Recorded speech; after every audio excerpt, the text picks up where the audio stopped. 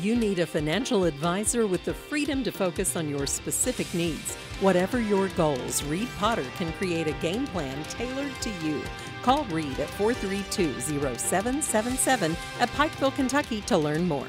Thankful Hearts Food Pantry, along with many out of state missions, held their annual Christmas giveaway at the Pikeville YMCA on Saturday, December 3rd. To me personally, it's just it's amazing. I mean, because I myself don't have the money to do anything for anybody, um, and the good Lord just He just sends it on and on and on. And just the kids' face and to be so ecstatic over the simple little things that we take for granted it's just a major blessing. And the people that drive so far and work so hard all year to get this to go, and it's just, it's just amazing.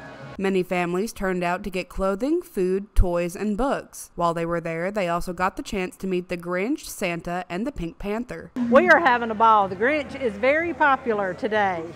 He uh, has had his picture made lots and lots and lots of times. He don't always like that though, and he's lost Max. We can't find Max. So, but we are doing a Christmas giveaway for the children in the Pikeville area. Part of us have been coming for 21 years. We've been doing the giveaway like this for about 15, 16 years.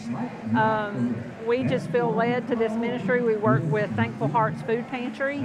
They're here doing it every day, and we get a chance to come and um, work with them in their mission to help out the children and, and, share God's love.